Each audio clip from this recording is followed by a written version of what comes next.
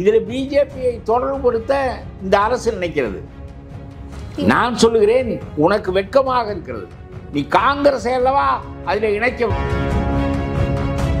எதற்காக supreme court தீர்ப்பு?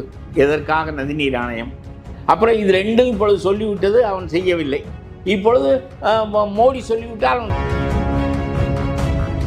சொல்வதற்கு உனக்கு துப்பில்லை. சும்மா உன்னுடைய அப்பன் பதவியை உங்களை கொடுத்து விட்டு போய்விட்டால் சௌரியத்தை அனுபவித்துக் கொண்டிருந்தால் போதும் என்று நினைக்கிறாயா என்று கேட்கிறேன் நான். நீட் தேர்வை ஒழிப்பேர் என்று சொல்கிறாய் பெரிய நீட் தேர்வு. உனக்கு ஆயிரம் கோடி சந்தை பறிபோய் விட்டது என்று பதறுகிறாய்.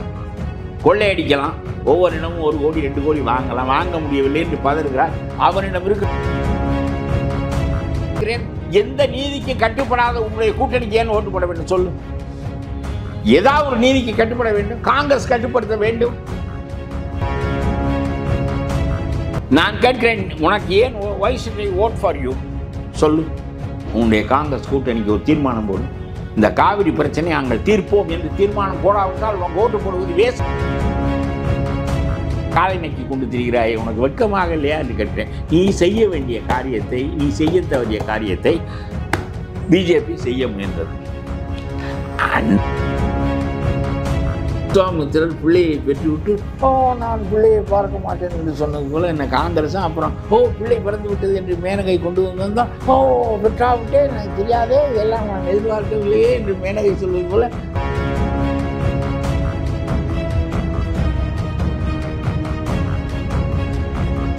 டி நியூஸ் டுவெண்ட்டி ஃபோர் நேர்களுக்கு வணக்கம். இன்றைய சிறப்பு விருந்தினர் தமிழ்நாடு தன்னுரிமை கழக தலைவர் பழ கருப்பையா அவர்கள். வணக்கம் சார்.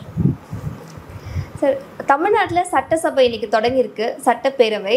அதில் காவேரி பற்றின விவகாரத்துக்கு தனி தீர்மானம் கொண்டு வந்திருக்காங்க திமுக அரசு. அதை எதிர்த்து பாஜக எம்எல்ஏ மக்கள் வந்து வெளிநடப்பு நடத்தியிருக்காங்க. அதாவது அந்த தீர்மானத்தில் சொல்லியிருக்கிறது என்னன்னா மத்திய அரசை கர்நாடக அரசை வலியுறுத்த சொல்லி சொல்லியிருக்காங்க. காவேரி நீர் வேணும் அப்படின்னு சொல்லிட்டு. இதை பற்றின உங்களோட பார்வை சார்?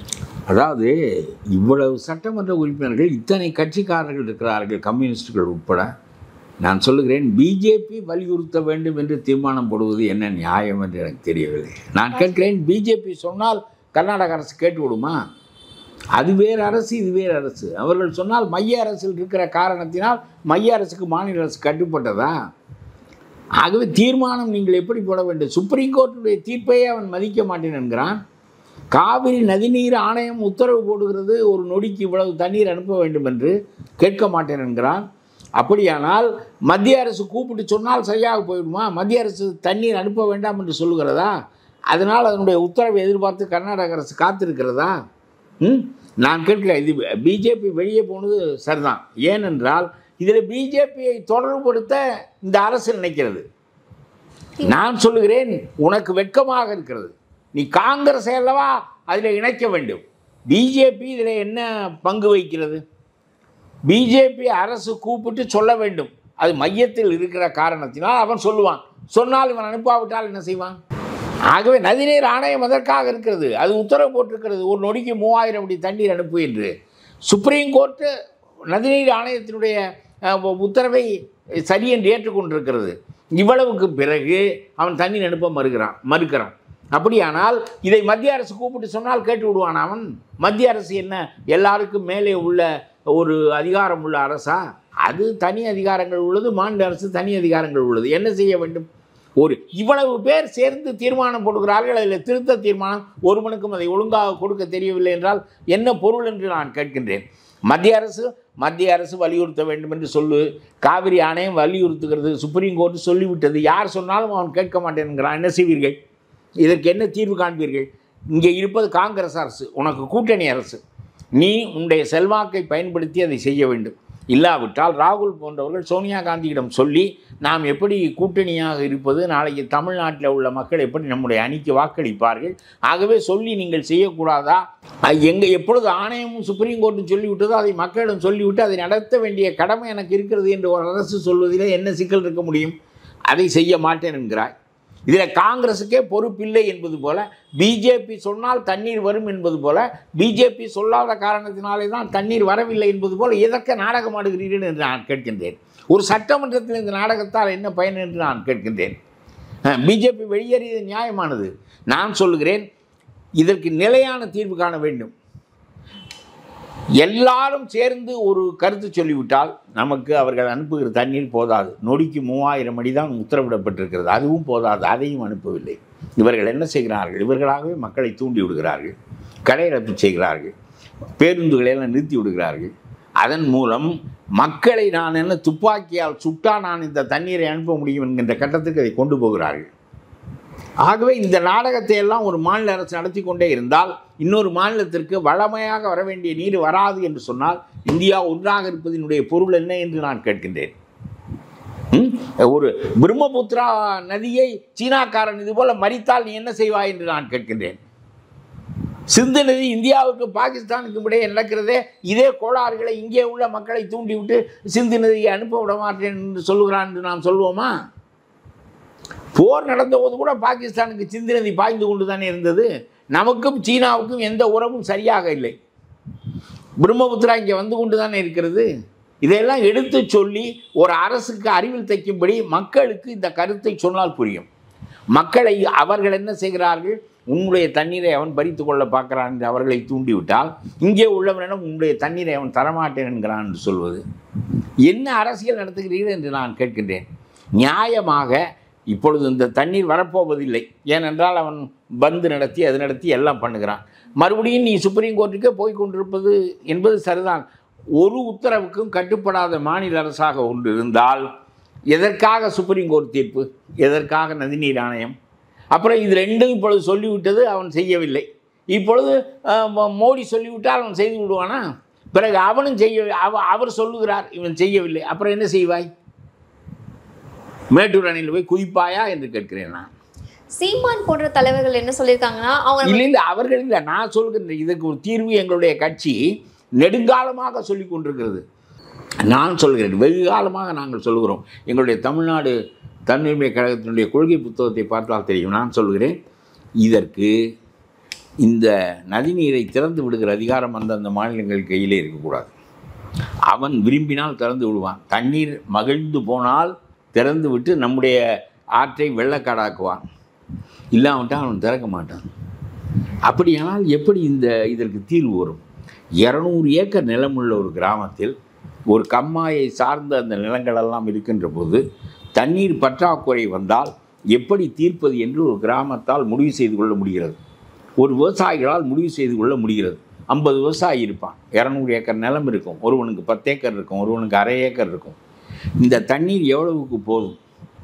எப்படி நாம் இதை பங்கிட்டுக் கொள்வது? என்று முடிவு செய்து அதற்கு ஒரு ஆளை நியமிப்பார்கள். அந்த கிராமத்தில் பொதுவான ஒரு ஆளை நியமிப்பார்கள். அவனுக்கு சம்பளம் கூட கொடுப்பார்கள். கிட்டத்தட்ட காவிரி மேலாண்மை ஆணையமும் அப்படிதானே சார்? காவிரி மேலாண்மை ஆணையம் சொல்லிவிட்டதை அவன் கேட்க மாட்டேன்கிறானே. தண்ணீரை திறக்கின்ற அதிகாரத்தை காவிரி மேலாண்மை ஆணையத்திற்கு கொடு. காவிரி மேலாண்மை ஆணையத்திற்கு போடுகின்ற உறுப்பினர்கள் நீ போடுகின்ற உறுப்பினர்களாக இருக்கக்கூடாது. ஓய்வு பெற்ற நீதிபதிகள் பெரிய பொறியாளர்கள் அவர்கள் எந்த ஒன்றையும் சாராதவர்கள் நம்முடைய மாநிலம் அவர்களுடைய மாநிலம் மத்திய அரசு சுப்ரீம் கோர்ட் எல்லாரும் ஒப்புக்கொள்ளக்கூடிய மனிதர்களை இதில் போட வேண்டும். இப்பொழுது மோடி போட்டிருக்கின்ற இப்பொழுது அந்த நதிநீர் ஆணையம் ஒரு உத்தரவிட்டிருக்கிறது கேட்கவில்லை என்பது ஒரு பக்கம் இருக்கட்டும். அவர் போட்டிருக்கிறாள் மைய அரசாங்கத்திலிருந்து வேலையில் இருந்த ஒருவரை எடுத்து ராஜினாமா செய்ய சொல்லிவிட்டு இந்த ஆணையத்தில் போடுகிறார்கள். இல்லை ஓய்வு பெற்றவர்களை அவர்களுடைய கட்டுக்குள் இருக்கிறவர்களை போடுகிறார்கள். ஆகவே அவர்கள் எல்லாத்துக்கும் இந்த அரசியலுக்கு தோதாக இவர்கள் செயல்படக்கூடும். ஆகவே நான் சொல்லுகிறேன் ஓய்வு பெற்ற நீதிபதிகள் பெரிய ஓய்வு பெற்ற பெரிய பொறியாளர்கள் சார்பற்றவர்கள் இவர்கள் இவர்கள் யார் என்று தேர்வு செய்வதற்கு நம்முடைய மாநிலம் அவர்களுடைய மாநிலம் மைய அரசு சுப்ரீம் கோர்ட் எல்லாருமா சேர்ந்து மூன்று பேரை ஐந்து பேரையே போடுங்கள் அவர்கள் கை இப்போ மத்திய அரசு போட்ட ஆள் இருக்கிறது. ஆனால் அவர் சொன்னாலும் இவன் கேட்க மாட்டேன்கிறான். நான் இப்பொழுதுக்கு தீர்வு சொல்கிறேன். கம்மாயை திறப்பதிலே கிராமம் ஒன்றுபட்டு நிற்கிறதா இல்லையா? போதுமான தண்ணீர் இல்லாவிட்டால் நான் கேட்கிறேன் ஏன் மாநிலங்கள் ஒன்றுபட்டு நிற்க முடியவில்லை? அப்புறம் என்ன? ப பத்து ஏக்கர் இருப்பவனுக்கும் ஒரு ஏக்கர் தான் பாயும் கிராமத்தில். ஒரு ஏக்கர் இருப்பவனுக்கும் ஒரு ஏக்கர் பாயும். ஆகவே தண்ணீர் குறைந்து விட்டால் எத்தனை ஏக்கருக்கு எத்தனை விவசாயிகள் இருக்கிறார்கள்? ஐம்பது பேர் ஐம்பது பேருக்கும் பயன் கிடைக்க வேண்டும். கடைசி விவசாயி அரை ஏக்கர் வைத்திருக்கிறான். இன்னொரு ஒரு ஏக்கர் வைத்திருக்கிறான். ஒருவன் பத்து ஏக்கர் வைத்திருக்கிறான். ஒரு ஏக்கருக்கு தண்ணீர் இருக்கிறது. என்று சொன்னால் அரை ஏக்கரை வைத்திருப்பவனுக்கு முழுமையாக பாயும் ஒரு ஏக்கர் வைத்திருப்பவனுக்கு முழுமையாக பாயும் ரெண்டு ஏக்கர் வைத்திருப்பவனுக்கு பாய் தான் பாயும் பத்து ஏக்கர் வைத்திருப்பவனுக்கு பத்தில் ஒரு பங்கு தான் பாயும். இப்படி அதற்கு ஒரு ஆள் நியமிப்பார்கள். திறந்து விடுகின்ற பொறுப்பு அவன் கையிலே இருக்கும். அந்த தண்ணீர் முதல்ல கடைமடைக்கு கடைமடைக்கு போகும். கடைசியில் இருக்கிற நிலத்துக்கு பாய். கடைசியில் தான் முதலில் இருக்கிற நிலத்துக்கு வரும். இவ்வளவு தெளிவாக ஒரு கிராமத்துக்கு முடிவெடுக்க தெரியாது அறிவில்லையே நீங்களெல்லாம் எதற்கு ஆட்சி செய்கிறீர்கள் என்று கேட்கிறேன். ஒரு தீர்மானம் போடுகின்ற போது இந்த நதிநீரை திறக்கின்ற அதிகாரம் கர்நாடக மாநிலத்தின் கையில் இருக்கின்ற வரையிலும் ஒரு காலத்தில் தண்ணீர் வந்து சேராது சேராது. எத்தனை சுப்ரீம் கோர்ட் போனாலும் எத்தனை நதி நீர் ஆணையம் ஆணையிட்டாலும் இது வந்து சேராது. ஏனென்றால் கடைசி முயற்சியாக அவர்கள் பந்து நடத்தி மக்களை கிளப்பி விட்டு கொந்தளிக்க வைத்து அவர்கள் இனிமேல் அடுத்தது என்ன கேட்பார்கள் என்றால் மக்களை மீறி நான் எப்படி திறப்பது? துப்பாக்கியால் சுட்டா திறக்க வேண்டும் என்று கேட்பார்கள். என்ன பதில் சொல்வீர்கள்? ஏன் நீ திறக்கிறாய் என்று நான் கேட்கின்றேன். கிராமத்திலே கம்மாய் தண்ணீரை திறப்பதற்கு ஒரு மனிதன் நியமித்திருப்பது போல. அளவு மட்டும்தான் எல்லாரும் முடிவு செய்ய வேண்டும். இன்ன அளவுக்கு ஏக்கர் பாய வேண்டும் என்று முடிவு செய்து விட்டால் ஒரு தனி மனிதன் ஒரு சம்பளத்திற்குள்ள ஆளோ பொதுவான ஆளோ அந்த தண்ணீரை திறந்து விடுவது போல ஒரு பொது ஆள் கையிலே கொடுவதை. திறக்கின்ற அதிகாரத்தை இன்னொருவன் கையிலே கொடுப்பதற்கு தீர்மானம் போட உனக்கு தெரியவில்லை என்றால் நீ எப்படி இந்த தண்ணீரை பெறுவாய்? அப்புறம் பா பாஜக வெளிநடப்பு செய்து கொண்டிருக்க வேண்டியதான் நீனும் நானும் தீர்மானம் போட்டேன் என்று சொல்லி கொண்டிருக்க வேண்டியதான் உனக்கு என்ன இந்த காங்கிரஸ் நீ என்ன செய்ய வேண்டும்? மற்றவையெல்லாம் இருக்கட்டும். இப்பொழுது நான் சொல்லுகிறேன் இந்த அரசு தீர்மானம் போடுவதெல்லாம் சடங்கு. நியாயமாக ஸ்டாலின் காங்கிரஸ் கூட்டணி அரசில் இருக்கிறார். அவர் என்ன சொல்ல வேண்டும்? எழுபத்தைந்து ஆண்டுகள் ஆகிவிட்டது. இந்த நாடு விடுதலை அடைந்து இன்றைக்கு வரையில் நதிநீர் பிரச்சனை தீரமாட்டேன்கிறது. எப்பொழுது பார்த்தாலும் வறட்சியான காலத்தில் தண்ணீரை திறக்க மறுக்கிறான் கோர்ட்டு உத்தரவுகள் பயனற்றவையாக இருக்கின்றன. ஆகவே இந்த தண்ணீர் சிக்கலை எப்படி தீர்ப்பது என்று நம்முடைய கூட்டணி அரசு ஆட்சிக்கு வந்தால் நாம் எப்படி தீர்க்கப் போகிறோம் என்பதை பற்றி நாம் தீர்மானிக்க வேண்டும் என்று சொல்ல வேண்டும். சொல்வதற்கு உனக்கு துப்பில்லை. சும்மா உன்னுடைய அப்பன் பதவியை உங்களிடம் கொடுத்து விட்டு போய்விட்டால் சௌரியத்தை அனுபவித்துக் கொண்டிருந்தால் போதும் என்று நினைக்கிறாயா என்று கேட்கிறேன் நான். தீர்மானம் போடு. காங்கிரஸ் கூட்டணி ஐஎன்டிஐஏ கூட்டணி. ஐஎன்டிஐஏ தானே? இது இப்போ நாட்டு அது ஒரு பக்கம் இருக்கட்டும். அதனாலே தீர்மானம் என்ன போட வேண்டும் என்றால் இன்றைக்கு உள்ளது என்ன செய்ய வேண்டுமோ அதை செய்வோம். நாளைக்கு இன்னும் ஒரு ரெண்டு மாதத்தில் ஏழு மாதத்தில் தேர்தல் வந்துவிடும். அப்பொழுது சொல்லு. நாங்கள் ஆட்சிக்கு வந்தால் டெல்லியில் இருபத்தெட்டு கட்சிகளும் சேர்ந்து ஆட்சிக்கு வந்தால் நதிநீர் சிக்கலை எப்படி தீர்ப்போம்?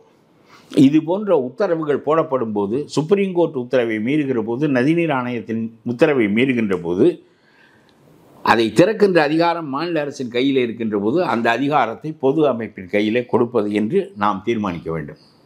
நம்முடைய கூட்டணி அரசு நதிநீர் சிக்கல் இதுபோல தடுமாறுவதை அனுமதிக்காது தெளிவான முடிவெடுத்து இந்த நதிநீர் சிக்கலை தீர்க்கும் என்று காங்கிரஸ் கூட்டணியால் தீர்மானம் போட முடிகிறதா? நீட் தேர்வை ஒழிப்பேர் என்று சொல்கிறாய் பெரிய நீட் தேர்வு உனக்கு ஆயிரம் கோடி சந்தை பறிபோய் விட்டது என்று பதறுகிறாய். கொள்ளையடிக்கலாம். ஒவ்வொரு இடமும் ஒரு கோடி ரெண்டு கோடி வாங்கலாம். வாங்க முடியவில்லை என்று பதறுகிறாய். அவனிடம் இருக்கிற அதிகாரத்தை என்னிடம் கொடு என்னிடம் கொடு என்கிறாய். உனக்கு எந்த சந்தையையும் இன்னொருத்தன் எடுத்துக்கொள்ளக்கூடாது இப்பொழுது நீட்டில் ஒரு ஒரு ஊ- ஊழலும் ஒரு சீட்டுகளும் விற்கப்படுவதில்லை. தனியார்கள் விற்கிறார்கள் என்பது வேறு. நான் சொல்கிறேன் இந்த நீட்டுக்கு இவ்வளவு பதறுகிறாயே நானும் கல்வி அதிகாரம் மாநிலம் கையில் இருக்க வேண்டும் என்று விரும்புகிறவன் தான் நீ ப்ளஸ் டூ தேர்வின் மூலம் மருத்துவக் கல்லூரிக்கு ஆட்களை தேர்ந்தெடுத்தாலும் அப்பொழுது கட் ஆஃப் மார்க் நூற்றுக்கு நூறாக இருக்கும். ஏனென்றால் ஒரு லட்சத்தி ஐம்பதினாயிரம் பேர் தேர்வு எழுதுகிறார்கள். பத்தாயிரம் பேர் தான் இடம் பெறுகிறார்கள். ஒரு லட்சத்தி நாற்பதாயிரம் பேர் வெளியே நிற்கிறார்கள் உன்னால் புதிய கல்லூரி கட்ட முடியாது. உன்னிடம் பணம் இல்லை. தனியார் இதற்கு மேல் கட்டுவதற்கு இட இடபாடு இல்லை. ஆகவே இவர்களுக்கு இடம் கொடுக்க உன்னால் முடியாது. நீட் உன்னிடம் வந்து விட்டால் பத்தாயிரம் பேருக்கு பதினோராயிரம் பேருக்கு கொடுத்து விடுவாய். நீ ஆயிரம் பேருக்கு கூடுதலாக. கொடுக்க முடியுமோனால் பெரிய நீட்டு உன்னுடைய கழுத்தையே அறுத்து விட்டது போல இந்த நாட்டினுடைய எல்லாமே நீட்டிலே தான் இருப்பது என்பது போல பதறுகிறாயே. நீட்டை விட ரொம்ப பெரிய முக்கியம் காவிரி.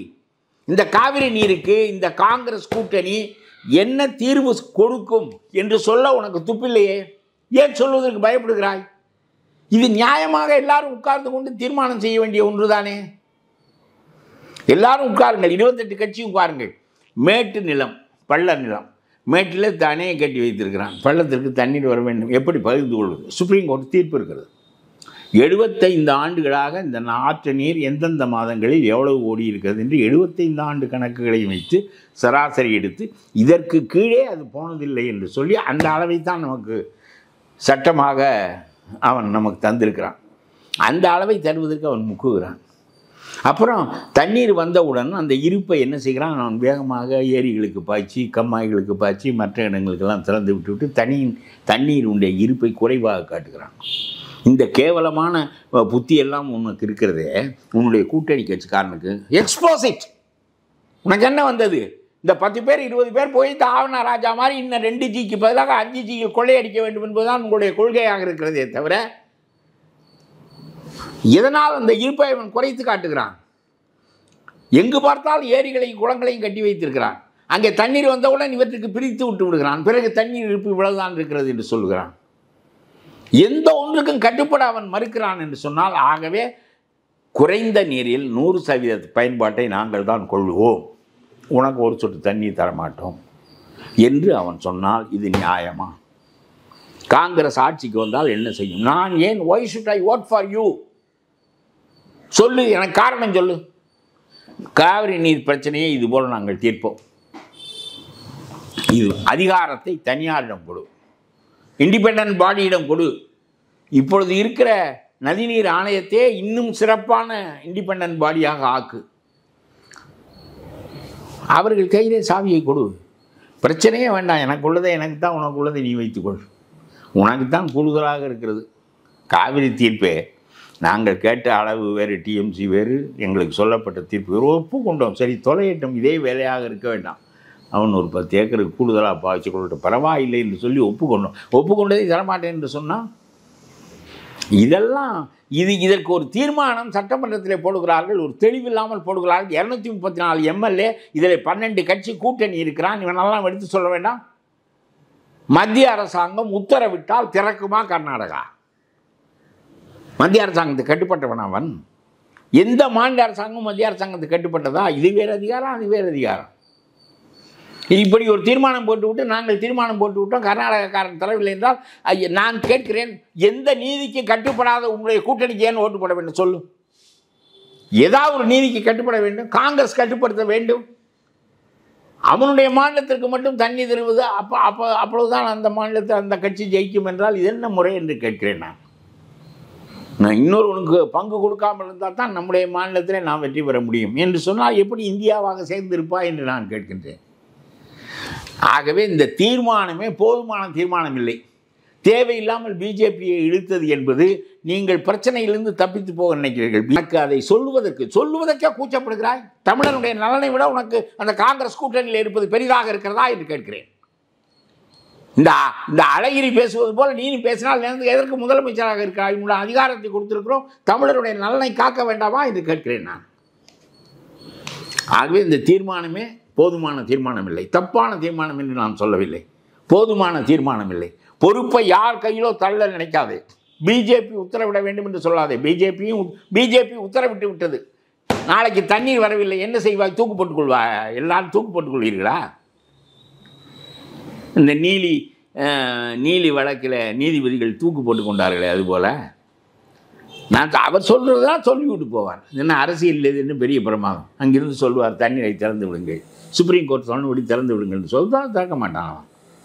அவன் திறப்பதில்லை என்பதற்காகத்தானே பந்து எங்கேயாவது ஆளுங்கட்சி பந்தை ஆதரிக்குமா? மக்களிடம் சொல்ல வேண்டும். ஏதாவது சட்டம் யாருக்காவது கட்டுப்பட வேண்டும். அவன் சொல்லுகிறான் நாம் செய்து தான் ஆக வேண்டும். அது அரசினுடைய கடமை என்று சொல்லி மக்களை பழக்கப்படுத்தாமல் நீ குறுக்கே விழுந்து படு. பேருந்தெல்லாம் நிறுத்தி விடுவோம். கலகம் செய். நான் தண்ணீரை அனுப்பாமல் இருக்கிறேன். மக்களையும் கெடுத்து அரசும் கெட்டு இ- இதற்கு ஒரு கூட்டணி. இதுதான் நீங்கள் காங்கிரஸ் ஆட்சிக்கு வந்தால் இதுதான் நீங்கள் செய்வீர்கள். நான் கேட்கிறேன் உனக்கு ஏன் why should vote for you? சொல்லு. உன்னுடைய காங்கிரஸ் கூட்டணிக்கு ஒரு தீர்மானம் போடும் இந்த காவிரி பிரச்சனை நாங்கள் தீர்ப்போம் என்று தீர்மானம் போடாவிட்டால் உனக்கு ஓட்டு போடுவது வேஸ்ட் என்று நான் சொல்கிறேன். எப்படி தீர்ப்பாய் என்று உனக்கு தெரியாவிட்டால் நீ எதற்கு கூட்டணி சேர்கிறாய்?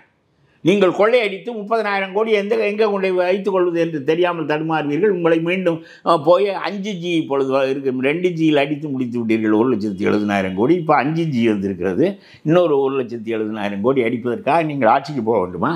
அடுத்தது இப்போ தமிழ்நாட்டு அரசியலில் ரொம்ப பரபரப்பாக போயிட்டுருக்குது அதிமுக பாஜகவோட கூட்டணி பிரிவு பற்றி நீங்கள் சமீபத்தில் ஒரு இன்டர்வியூவில் சொல்லியிருந்தீங்க காங்கிரஸ் திமுகவோட சேர்ந்து தான் ரொம்ப பொலிட்டிக்கலி irrelevant ஆயிட்டாங்க.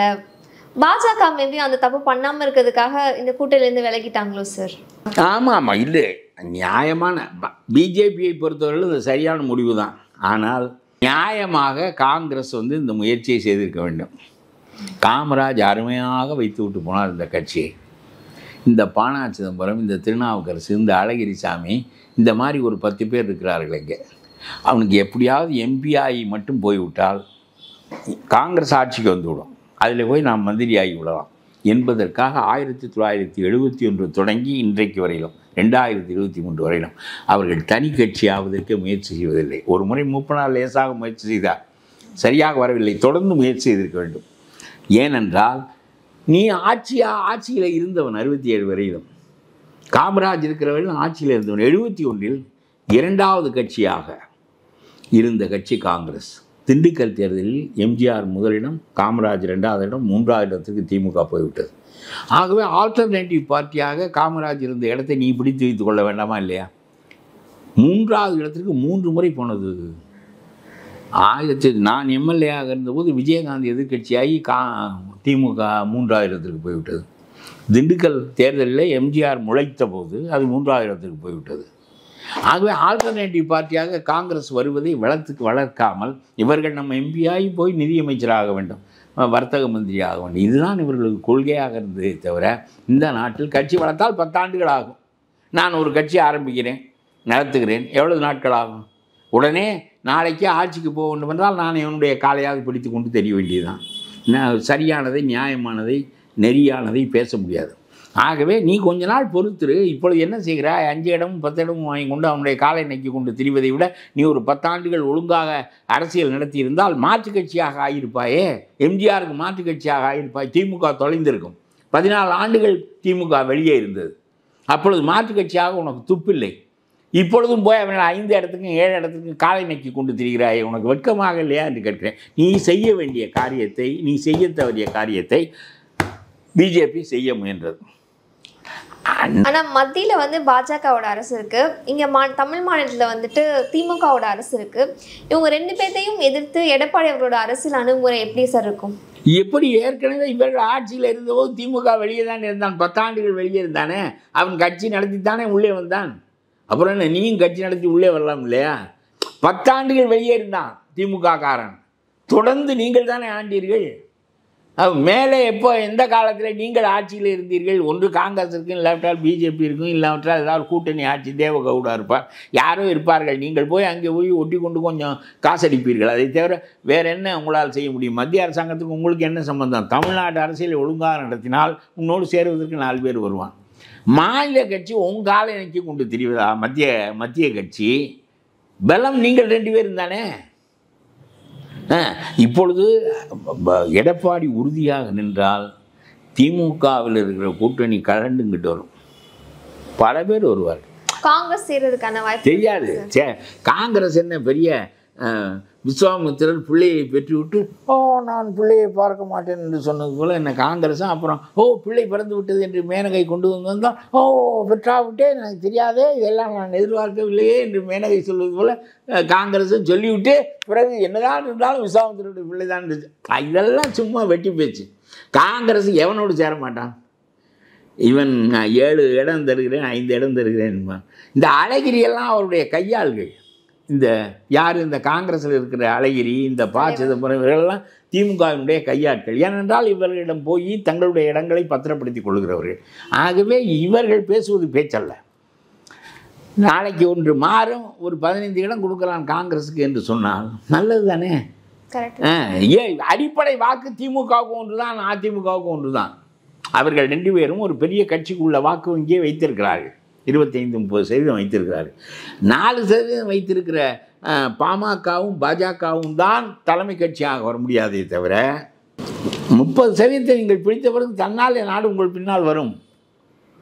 அது மாதிரி தான் சொல்கிறேன் என்டிஏ பொறுத்த வரைக்கும் பாஜக வந்து தேசிய அளவில் தலைமை கட்சியாக இருக்குது தமிழகத்தில் அவங்க தலைமை கட்சியாக இருக்கணும்னு அவசியம் இல்லையே சார்? தமிழ்நாட்டில் வெற்றி பெற முடியாது. நாம் தமிழ்நாட்டு அரசியலை பற்றி தானே பேசுகிறோம். ரொம்ப ஒரு பத்தாண்டுகள் ஆட்சியில் இருந்து விட்டார்கள். என்ன? அது எப்பொழுதுமே ஆட்சிக்கு எதிரான வாக்குகளை பெருவாரியான அளவுக்கு கொண்டு வந்து விடும். அதனாலே நீங்கள் ஒன்றும் பெரிதாக செய்ய முடியவில்லை. அவ்வளவு காங்கிரஸ் பல காங்கிரஸ் ஆட்சியில் இருந்த மாதிரி எந்த ஊழல் வழக்குகளும் பாஜக மேல இல்லை இல்ல சார். என்ன இல்லை? டூ ஜி அந்த நிலக்கரி ஊழல் டூ ஜி யார்? நம்முடைய திருவாளர் ராஜா திமுக. பூராவும் காங்கிரஸை கவிழ்த்தவர்களே இவர்கள் தானே. இன்னமும் ஆவண ராஜா நிற்பார் அஞ்சு ஜி வரும். அங்கே போய் மந்திரியாக இருப்பார். அதுக்காகதானே இவர்கள் போகிறார்கள். இந்த திமுகவை சேர்த்து கொண்டு தான் நாசமானது காங்கிரஸ். அந்த அறிவு அவர்களுக்கு கிடையாது கிடையாது. எதனால் எப்படி மன்மோகன் Singh clean prime minister? Clean prime minister. அவர் எப்படி தோத்தார்? How how he was defeated அவர் ஆனா தன்னிச்சையா செயல்படல. அதெல்லாம் கிடையாது. ரெண்டு தானே இருந்தாரே. பத்தாண்டுகள் ஆண்டாரே. எப்படி அவருடைய பொருளாதார அறிவு அவருடைய க்ளீன் இமேஜ் இவற்றின் காரணமாகத்தான் இருந்தார். அந்த க்ளீன் இமேஜில் பொத்தல் போட்டவர்கள் திமுக காரர்கள் ஆவண்ண ராஜா கனிமொழி இவர்களெல்லாம் போய் சிறையை இறப்பி அவருக்கு வழக்காக நடத்துகிறேன் என்று சொன்னார் மன்மோகன் சிங் கடைசி அப்புறம் திமுக மட்டும் இல்லாமல் ஒரு லட்சத்தி எழுபதாயிரம் கோடியை சொல்லித்தானே மோடி ஆட்சிக்கு வந்தார். டூ ஜி ஊழலோட சேர்ந்து நிலக்கரி ஊழல்கள் ஏங்க பல ஊழல்கள் இருக்கட்டும். நம்ம ஆள் தான் தலைமை பெரிய ஓட்ட ஓட்டது நம்ம ஆள். பல பல ஊழல்கள் காலப்போக்கில் சேர்ந்து விடுகின்றன என்பதை நான் ஒப்புக்கொள்கிறேன். ஆனால் மறுபடியும் சரியாக ஆளுவதற்கு அவர்கள் முயலட்டும். ஒரு க்ளீன் பிரைம் மினிஸ்டரை வைத்துக்கொண்டே உங்களால் அவர் he was an economist he was a clean prime minister அவரை வைத்துக்கொண்டு உங்களால் நடத்த முடியவில்லையே. அது காரணம் தேவையில்லாத ஆட்களை எல்லாம் கொண்டு போய் மந்திரி சபையில் வைத்துக்கொண்டு கூட்டணி காரணமாக இவர்களெல்லாம் மோடி ஆட்சிக்கு வந்ததற்கு யாருக்கு? To whom he should salute to Raja. Aavanna Raja. And Kanimozhi. ரெண்டு பேருக்கும் தான் சல்யூட் பண்ணணும். எப்பொழுது போனாலும் அவர்களுக்கு வேண்டியதெல்லாம் செய்து கொடுக்கணும் நீங்களெல்லாம் அந்த கூட்டணியிலேயே இருங்கள் அந்த கட்சியிலேயே இருங்கள். அப்படி இருந்தால்தான் பிஜேபி என்றைக்கும் செங்கோட்டையில் இருக்க முடியும் என்று அவர் இவர்களுக்கு தான் சர்டிஃபிகேட் அடிக்க வேண்டும். முல்லை பெரியாறிலே நீர்மட்டத்தை உயர்த்தாதே என்று அங்கே உள்ள கம்யூனிஸ்ட் சொல்லுகிறான். இங்கே உள்ள கம்யூனிஸ்ட் ஏற்றி என்று சொல்கிறான் இந்த முத்தரசனும் பாலகிருஷ்ணனும் ஏற்றி என்று சொல்லுகிறார்கள். உங்களுக்கு வெட்கமாக இல்லை? உங்களுக்கு ஒரு தேசிய கூட்டம் இருக்கிறது கவுன்சில். அந்த கவுன்சிலில் நதிநீர் கொள்கை என்ன? இந்தியாவுக்கான நதிநீர் கொள்கை கம்யூனிஸ்ட் கட்சிக்கு என்ன? முடிவு செய். முடிவு செய். உனக்கு கிடையாது. அங்கே உள்ளவன் தண்ணீரை ஏற்றாதே என்பான். இங்கே உள்ளவன் ஏற்று என்பான். அங்கே உள்ள பிஜேபி விடாதே என்பான் தண்ணீரை. இங்கே உள்ளவன் விடு என்பான். பாலகிருஷ்ணன் பேசுகிறார். காங்கிரஸ் நன்றாகத்தான் இருக்கிறதாம். ஒரு பேசுகிறார். பாலகிருஷ்ணன் என்னோடு தான் எம்எல்ஏ இருந்தால் நல்ல மனிதர். அவர்களெல்லாம் ஒரு அரசியலிலே பயன் கருதி வாழ்கின்ற மனிதர்கள் இல்லை. ஆனால் இந்த திமுகவோடு சேர்ந்து சேர்ந்து என்ன? அப்படியே ஆகிவிட்டார்கள். அவர்கள் தனி கட்சியே அவர்களுக்கு தேவையில்லை. தனி கொடியும் தேவையில்லை. பேசாமல் கிளை கட்சியாக ஆகிவிடலாம். இவர் சொல்லுகிறார் பிஜேபி அங்கே நெருக்கடி கொடுத்தார்களாம் காவிரி தண்ணீரை விடக்கூடாது என்று. அவர்கள் கொடுத்த நெருக்கடி அரசியலுக்கு தாக்கு பிடிக்க முடியாமல் காங்கிரஸும் சேர்ந்து அவர்களோடு செயல்பட வேண்டிய நிலை ஏற்பட்டதாம். நான் கேட்கிறேன் உன்னை வழிநடத்துவது டெல்லி தலைமை என்று சொல்ல ஒப்புக்கொள்கிறேன். உன்னை வழிநடத்துவது உன்னுடைய கட்சியினுடைய மந்திரி சபை என்று சொல்ல நான் ஒப்புக்கொள்கிறேன். பிஜேபி வழி நடத்துகிறான் நான் அந்த நெருக்கடிக்கு தக சென்சிட்டிவ் பாலிடிக்ஸ் ஆகவே இசைந்து போய் தண்ணீரை விடாத நிலைமை ஏற்பட்டது. காங்கிரசினுடைய குற்றம் இல்லை. பிஜேபி நெருக்கடி கொடுத்ததனுடைய குற்றம் என்றால் உனக்கு சொந்த கருத்து என்ன? காங்கிரஸ் கட்சி ஒரு தேசிய கட்சி. உனக்கு சொந்த கருத்துனே போட. எல்லாரும் இந்தியர்கள். உனக்கு தெரியாதா? அது சொல்ல வேண்டாம். நமக்கு இப்படி பங்கிட்டு கொள்ள வேண்டும் என்று சுப்ரீம் கோர்ட் சொல்லுகிறது. அதற்கும் கட்டுப்படவில்லை என்றால் இந்தியா எப்படி ஒன்றாக இருக்கும்? இதற்கு போய் பிஜேபியை பாலகிருஷ்ணன் குற்றம் சொல்கிறார் என்றால் இந்த காங்கிரஸை காங்கிரஸ் இந்த பிரச்சனையை தீர்க்கும் என்று சொல்லாமல் மத்திய அரசு உத்தரவு போட வேண்டும் என்று நம்ம சட்டமன்றம் தீர்மானம் போடுவது போல இவர் பிஜேபி நெருக்கடி கொடுத்த காரணத்தினால் அவன் தண்ணீர் விடவில்லை என்று சொல்கிறார் இவ்வளவு கேவலமாக கம்யூனிஸ்ட் கட்சி பேசி நாம் கற்றுக்கிறோமா? ஜீவானந்தம் ராமமூர்த்தி கல்யாண சுந்தரம் போன்ற பெரிய மேதைகள் வழிநடத்திய கட்சி அது. அது பிஜேபி நெருக்கடியால் காங்கிரஸ் அரசு தண்ணீர் விடவில்லை. அல்லாவற்றால் காங்கிரஸ் அரசு ரொம்ப நியாயம் தெரிந்த அரசு. இது இந்த மாதிரி தான் நம்முடைய அரசியல் நடக்கிறது. எங்களோட பல கேள்விகளுக்கு ரொம்ப பொறுமையாக பதில் சொன்னீங்க. நிறைய புதிய தகவல்களை தெரிஞ்சுக்கிட்டோம். ரொம்ப நன்றி சார்.